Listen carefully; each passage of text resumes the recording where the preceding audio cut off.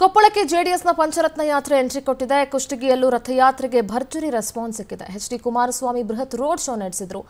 ರಸ್ತೆಯುದ್ದಕ್ಕೂ ಕೂಡ ಜನಸಾಗರವೇ ಹರಿದು ಬಂದಿತ್ತು. ಕುಷ್ಟಗಿ ಅಭ್ಯರ್ಥಿ ತುಕಾರಾಂ ಪರ ಪ್ರಚಾರ ಮಾಡಲಾಯಿತು.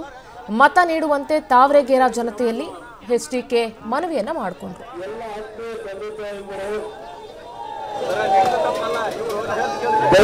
ಪ್ರಥಮವಾಗಿ ತನ್ನಲ್ಲಿ ಕ್ಷಮೆ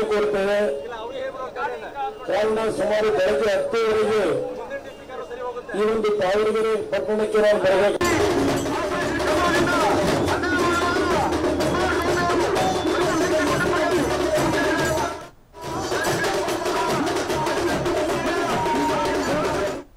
ಕಡೆ ಅವರ ಗಮನ ಏನಿದೆ?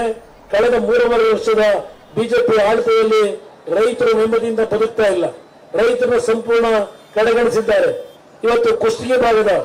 ಇವರು ಜ್ಯೂಸ್ ಮತ್ತು ಐಸ್ ಕ್ರೀಮ್ ಶಾಪ್ ರನ್ ಮಾಡ್ತಾರೆ ತಿಂಗಳಿಗೆ ಮೂರು ಲಕ್ಷ ಸಂಪಾದನೆ ಮಾಡ್ತಾರೆ.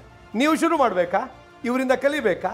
ಫ್ರೀಡಮ್ ಅನ್ನ ಈಗಲೇ ಡೌನ್ಲೋಡ್ ಮಾಡಿ. ಹಲವಾರು ಭಾಗದಲ್ಲಿ ನೀರಾವರಿ ಸೌಲಭ್ಯಗಳಿಂದ ಮಳೆಯನ್ನು ನಂಬಿ ನೀವು ಬದುಕಬೇಕಾದ ಪರಿಸ್ಥಿತಿಯಲ್ಲಿ ನಿದ್ದೀರಿ ನನ್ನ ಪ್ರಮುಖವಾದ ಕಾರ್ಯಕ್ರಮ ಈ ನಾಡಿನ ಐವತ್ತೊಂದು ಉಪನದಿಗಳೇನಿದ್ದಾವೆ ಎಲ್ಲಾ ಉಪನದಿಗಳ ನೀರನ್ನ ಸಂಗ್ರಹ ಮಾಡಿ ಪ್ರತಿಯೊಂದು ಭಾಗದಲ್ಲಿ ನನ್ನ ರೈತರ ಒಂದು ಕೃಷಿಗೆ ನೀರನ್ನು ಕೊಡ್ತಕ್ಕಂಥದ್ದು ಹೊಲಕ್ಕೆ, ಅದಷ್ಟೇ ಅಲ್ಲ, ಪ್ರತಿ ಹಳ್ಳಿಗಳಿಗೆ ಶುದ್ಧವಾದ ಕುಡಿಯುವ ನೀರನ್ನ, ನಲ್ಲಿಯ ನೀರನ್ನ ಕೊಡಬೇಕು ಅಂತಕ್ಕಂಥದ್ದು ನಮ್ಮ ಯೋಜನೆ ಜಲಧಾರ ಅಂತ ಹೇಳಿ ನಾನೇನು ಹದಿನಾಲ್ಕು ತಿಂಗಳ ಅವಧಿಯಲ್ಲಿ ಆ ಕಾರ್ಯಕ್ರಮ ಕೊಡಬೇಕು ಅಂತ ಹೊರಟೆ, ಇವತ್ತು ಅದು ಯಾವುದನ್ನು ಕಾಣ್ತಾ ಇಲ್ಲ ನೀವು.